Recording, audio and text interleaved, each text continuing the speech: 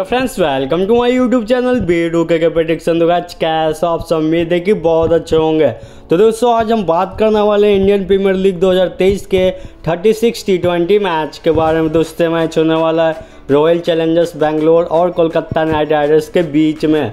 दोस्तों, अगर मैच की पूरी अपडेट है तो वीडियो के लास्ट तक बने रहें और आगे बढ़ने से पहले, अगर आप हमारे चैनल पर नए तो हमारे चैनल को लाइक एंड सब्सक्राइब करते चले, ताकि हर वीडियो की जानकारी आपको पूरी मिलती रहे। तो दोस्तों, आगे बढ़ने से पहले हमारे स्क्रीन पे हमारा व्हाट्सअप नंबर दिया हुआ है। तो आप हमें कांटेक्ट कर सकते हैं, जिससे आपको टॉस मैच सेशन पूरी जानकारी दी जाएगी। और हमारे डिस्क्रिप्शन बॉक्स में भी हमारा नंबर मेंशन किया हुआ है।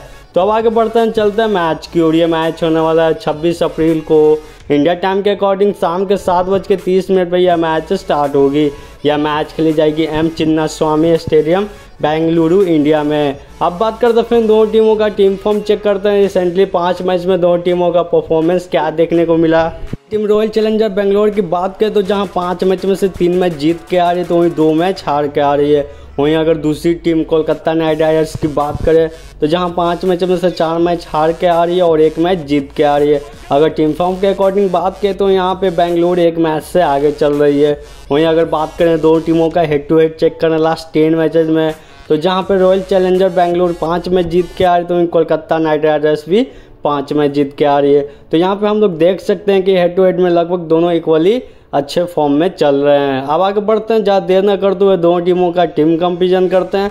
लास्ट तीन मैचेज में क्या क्या एक्सपेक्टेशन देखने को मिल सकते हैं। तो पहली कंपेरिजन विनिंग परसेंटेज की बात करें तो जहाँ पे बेंगलोर का 60 परसेंट देखने को मिल रहा है तो वहीं कोलकाता का 40 परसेंट देखने को मिल रहा है। एवरेज स्कोर की बात करें तो बेंगलोर का एक सौ उनासी है तो वहीं कोलकाता का एक सौ इक्यासी है। हाईएस्ट स्कोर की बात करें तो बेंगलोर का 218 है तो वहीं कोलकाता का 208 है। लोएस्ट स्कोर की बात करें तो बेंगलोर का 123 है तो वहीं कोलकाता नाइट राइडर्स का एक सौ सत्ताइस है।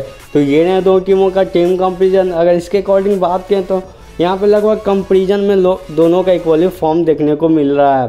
अब आगे बढ़ते चलते हैं वेदर की ओर। आज का मैच है वेदर कैसी रहेगी? तो क्लाउड्स एंड सन रहेंगे यानी मौसम में थोड़ी सी गड़बड़ होने वाली है। अगर सेल्सियस की बात किया जाए तो उनतीस पॉइंट सेवन डिग्री सेल्सियस देखने को मिल सकती है।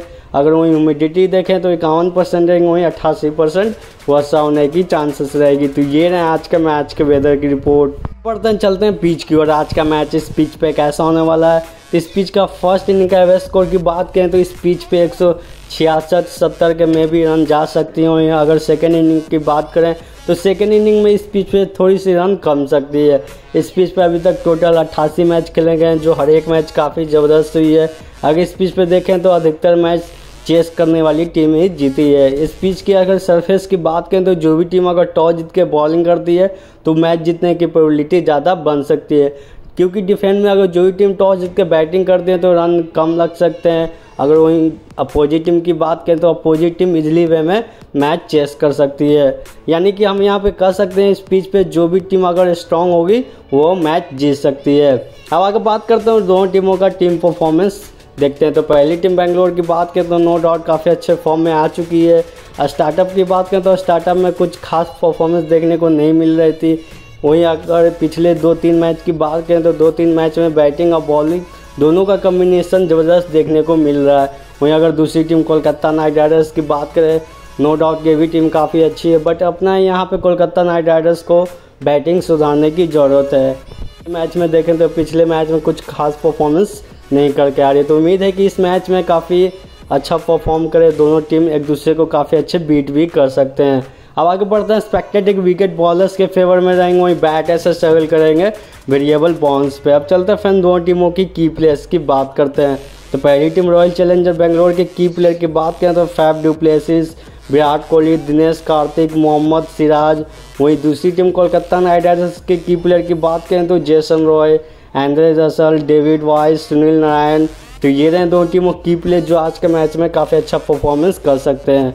तो अब आगे बढ़ते हैं, चलते हैं लास्टली विनर की ओर। देखा जाए तो स्टैटिक्स को मद्देनजर रखते हुए रॉयल चैलेंजर बेंगलोर हमारे हिसाब से स्ट्रॉन्ग टीम है और मैच जीतने की प्रोबेबिलिटी ज़्यादा रखता है। तो आप लोग क्या लगता है, अपने व्यू को कमेंट सेक्शन में ज़रूर मैंशन कीजिएगा। और जाने से पहले दोस्तों लाइक से और सब्सक्राइब करना ना भूलें बने रहिए हमारे चैनल के साथ। ओके क्या मिलते हैं नेक्स्ट वीडियो में।